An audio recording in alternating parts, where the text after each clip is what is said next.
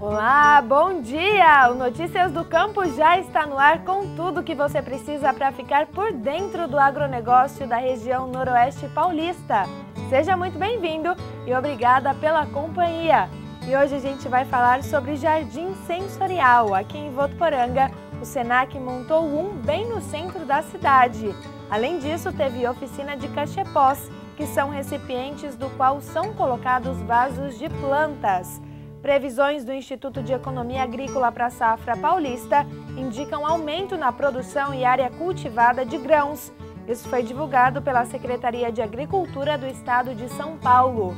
E hoje, representando as mulheres na música sertaneja, eu converso com Pamela e Priscila. A dose cai na conta e os 10% aumenta e cê me arrebenta. E na receita da semana tem um delicioso bolo de mandioquinha. Esse bolo fica com uma textura de bombocado, bem macio e úmida.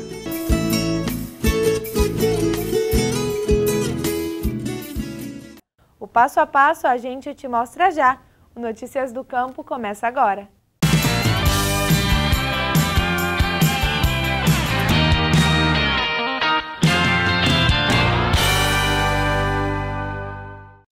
Plantas em casa é uma maneira de entrar em contato com a natureza, mas mais do que avivar a visão com o verde das folhagens ou com as flores coloridas, os outros sentidos também podem ser estimulados, bastando para isso criar um jardim sensorial.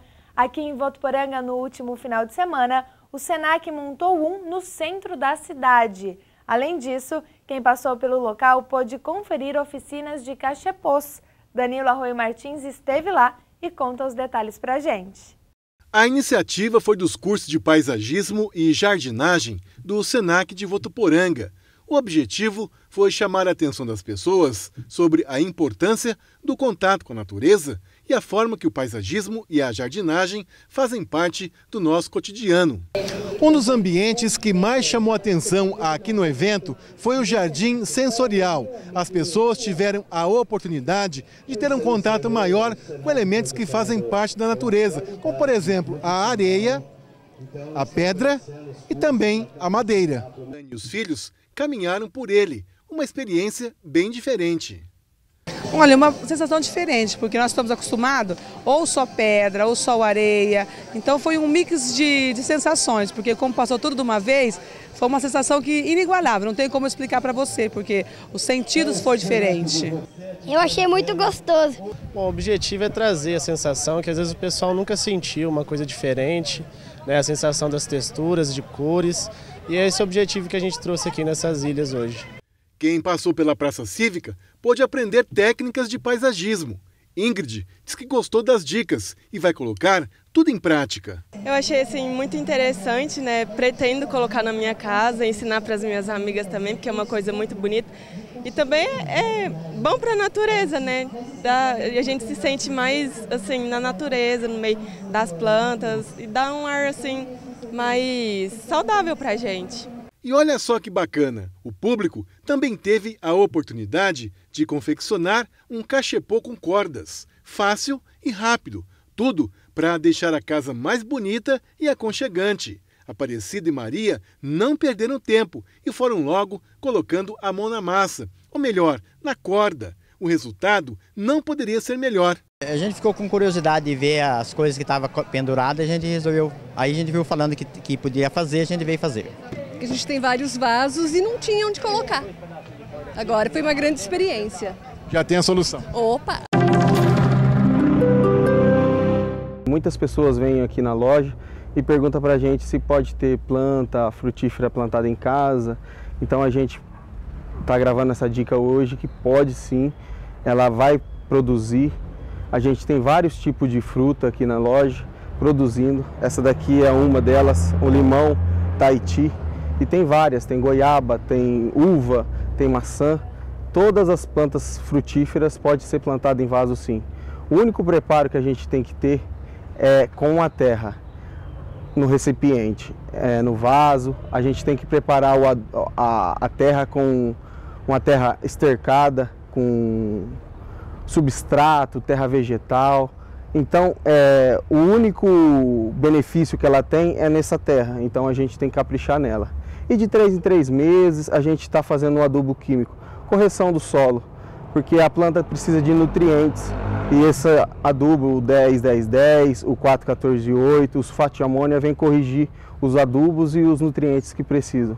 Essas plantas para estar tá lindas, é, com a, a folhagem muito bonita e com os frutos bem apresentáveis.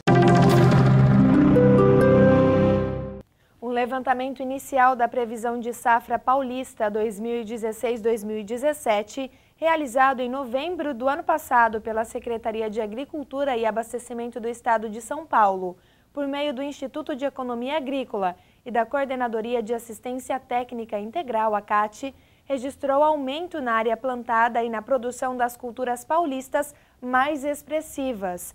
De acordo com o um estudo, há uma expansão de 2,3% na área cultivada para a safra de verão de grãos, que abrangem as culturas do algodão, amendoim, arroz, feijão, milho, soja e sorgo, e aumento de 3,6% na produção.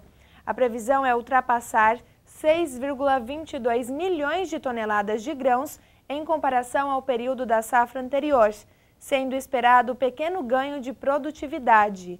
O levantamento realizado pela Secretaria em novembro também concluiu as estimativas da safra para as culturas de cana-de-açúcar, laranja, cebola, mandioca e tomate. Destaca-se queda de 1,4% na área plantada de cana-de-açúcar.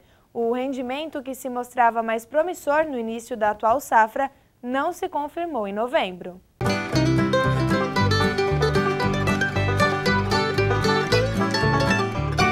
A vermifugação, pouca gente lembra de fazer isso, né? 90% dos proprietários acabam esquecendo, faz quando é filhote e depois nunca mais faz na vida do animal. Então a primeira coisa que eu gostaria de chamar a atenção é isso, né? O protocolo de vermífugo é a cada três meses, né? É, faz sempre junto nas trocas de estação. Primavera, verão, outono inverno é necessário fazer a vermifugação do cachorro. Você pode escolher entre um vermífugo oral através de xarope ou comprimidos, tanto faz. A maioria deles tem pirantel, praziquantel e febantel, que pega quase todos os tipos de verme.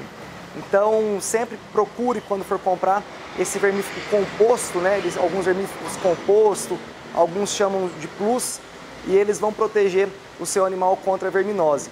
Isso se torna muito importante uma vez que os animais estão fazendo parte, muito mais parte da nossa vida, né? É, comem com a gente, dormem com a gente, sobem no sofá, ficam no mesmo tapete. Então a prevenção de verminose seria muito importante vocês fazerem a cada três meses.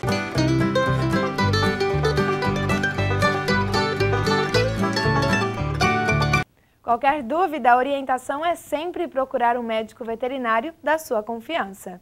E no próximo bloco tem Toca Viola. E hoje, representando as mulheres na música sertaneja, eu converso com Pamela e Priscila. dose cai na conta e os 10% aumenta e cê me arrebenta. E na receita da semana a gente te mostra o passo a passo de um bolo de mandioquinha. Não saia daí, Notícias do Campo volta já.